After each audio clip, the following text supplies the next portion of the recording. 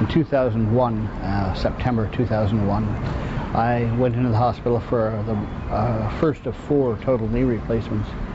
Um, shortly after leaving the hospital, uh, ambulatory and happy, um, I became ill with um, an infection. I became unconscious actually, and my wife called 911 and had me taken to the hospital.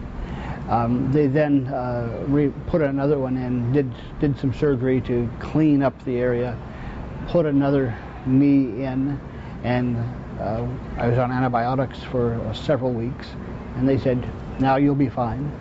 I wasn't.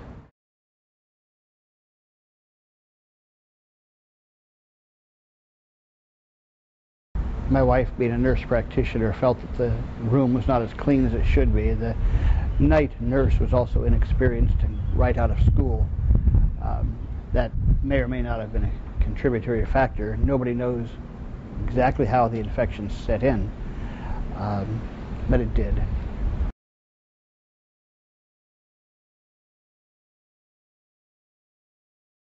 The um, initial prosthesis was um, denied by the insurance company as being experimental.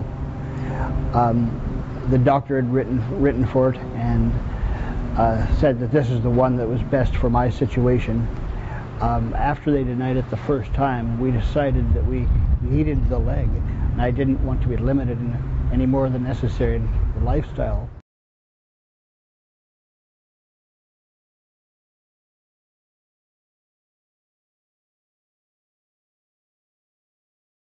But uh, about four months later, actually, uh, a check simply came in the mail, and we were very grateful.